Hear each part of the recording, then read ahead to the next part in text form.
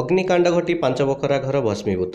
ବାଲେଶ୍ୱର ଜିଲ୍ଲା ସିମୁଳିଆ ବ୍ଲକ ହାଟମଇତାପୁର ଗ୍ରାମର ଗୟାଧର ବାରିକଙ୍କ ଘରେ ବିଳମ୍ବିତ ରାତିରେ ଅଚାନକ ଅଗ୍ନିକାଣ୍ଡ ଘଟି ଘରର ଆବାସପତ୍ର ସହ ଘରେ ଥିବା ଟଙ୍କା ପାଉଁଶ ହୋଇଯାଇଥିଲା।